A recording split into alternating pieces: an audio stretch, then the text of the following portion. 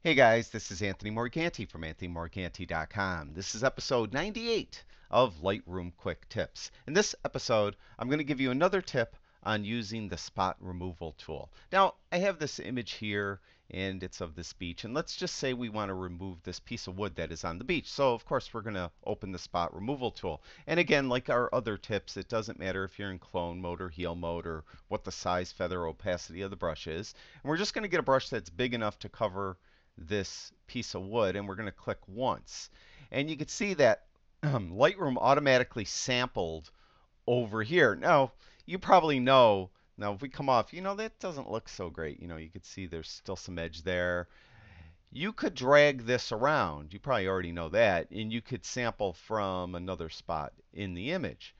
But if you don't want to drag this, and I'll tell you when this might come handy in a minute, is all you have to do is hit the forward slash key on your keyboard, and Lightroom will automatically choose another spot on the beach in this case. So we're going to hit that forward slash key once, and you can see it picked another spot. And every time you hit that forward slash key, it'll just keep sampling other areas of the beach.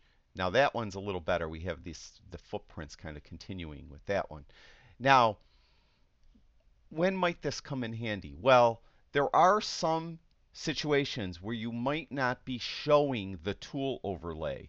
And that most commonly happens if you have a lot of spots that you removed in one little spot, like local area. So let's say we're going to remove a lot of little spots right here. And I'm right now I don't care that they don't look good or anything like that. Just I'm trying to make a point.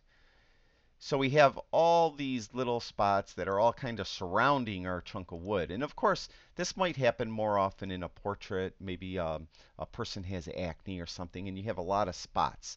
Now you want to remove this chunk of wood, but you have all these other spots on top of it and it's hard to get into the you know area. So you could kind of drag in from the outside, but that's not always optimal. So what you would do most likely is you'd go down to this toolbar, and if you're not seeing the toolbar, hit the T key on your keyboard. It toggles the toolbar on and off. And you can see right here it says Tool Overlay, and you would likely set that to Never. That way those overlays aren't showing, so you could easily go on top of this piece of wood, click once, and replace it. But now I don't like what it did. Well, our overlay isn't there to drag around. So you could just quickly hit that forward slash key and just keep hitting it until you get something that looks a little better. In this case, I'm not finding anything that looks a little better. I probably should feather a little more and stuff like that. But that's beside the point of this tip. And I hope that helps you down the line, maybe help you more effectively use that spot removal tool. You never know when you might run into that situation, but it could happen. So that's it for this episode. Thank you, everyone who watches my videos. I truly do appreciate it. I'll talk to you guys soon.